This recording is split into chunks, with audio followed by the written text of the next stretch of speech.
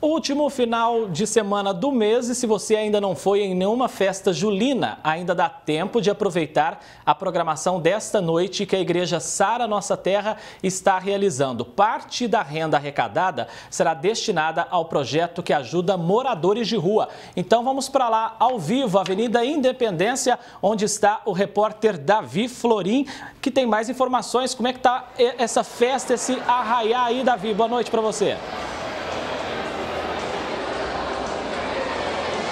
Boa noite, André, e a todos que assistem ao Jornal da Clube. Realmente mais uma grande festa julina aqui em Ribeirão Preto que todos podem conferir. Olha só o salão.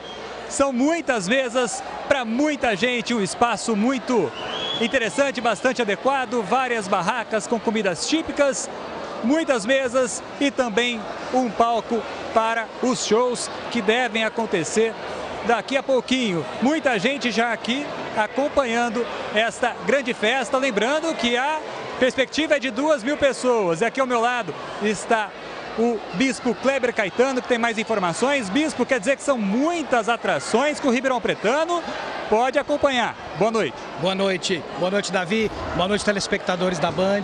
Olha só, aqui hoje nós já vamos estar com duas mil pessoas daqui a pouco, né? Todas as inscrições já foram colocadas, mas se você que está aí na cidade ouviu essa reportagem agora, vem para cá, que ainda cabe mais 500 para abençoar o nosso lugar aqui e também prestigiar esse evento maravilhoso.